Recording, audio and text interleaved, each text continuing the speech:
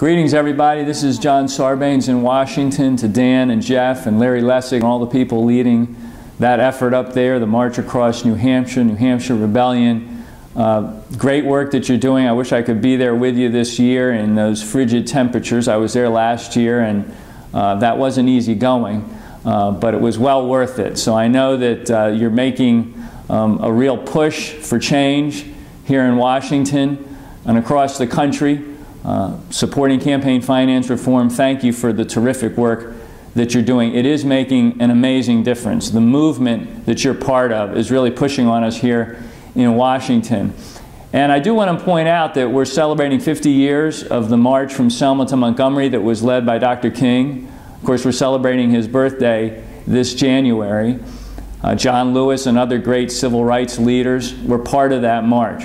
They were marching for the right to vote, and you're, in a sense, marching for the right to have your voice heard in Washington, to take your government back from special interests.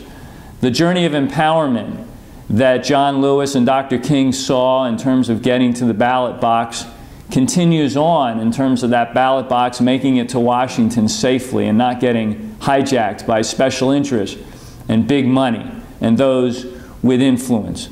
So when you're marching there in New Hampshire, you're really marching in the tradition of Dr. King and that march from Selma to Montgomery. They were marching for the right to vote. You're marching for the right to have your vote mean something by taking power back from the special interests. Thank you for doing it. It makes a huge difference. In a few, in a few months, actually, it's already starting, I'm sure, you're going to have those presidential candidates just trudging through New Hampshire, standing in your living rooms, asking for your vote. I hope you'll press them on this issue of campaign finance reform. It will make a big difference.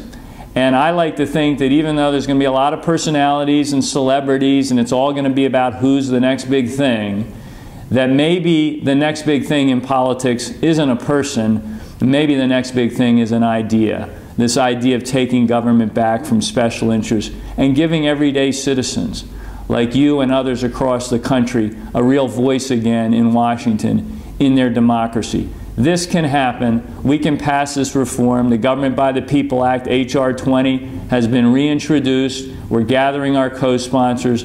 We'd love to have your continued voice out there pressing for this change. If you continue the drumbeat from outside Washington, I'll continue the drumbeat from inside Washington, and together we can make this change happen. Thank you for what you're doing, and keep it up.